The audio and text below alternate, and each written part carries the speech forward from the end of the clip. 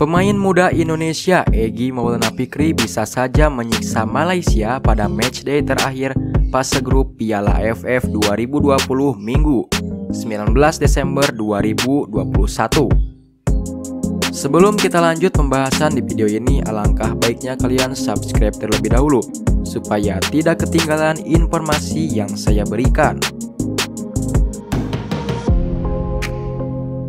Hingga berita ini diturunkan, memang belum ada kabar bahwa pemain FK Senika itu sudah terbang ke Singapura, tempat dihelatnya Piala AFF 2020. Namun pelatih timnas Indonesia Shin Taeyong mengindikasikan masih ada kemungkinan Egi hadir di tengah-tengah anak didiknya jelang melawan Malaysia. Hal itu dia sampaikan dalam konferensi pers setelah melawan Vietnam pada Rabu 15 Desember lalu.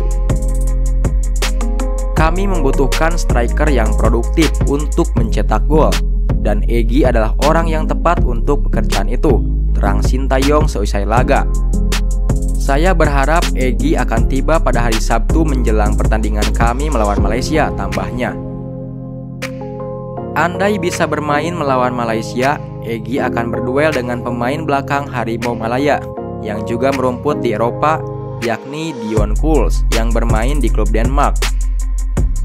Laga Malaysia menghadapi Indonesia merupakan pertarungan hidup mati untuk menentukan siapa yang lolos dari fase grup.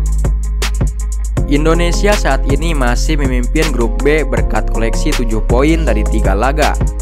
Malaysia menempel ketat di posisi 3 dengan 6 angka.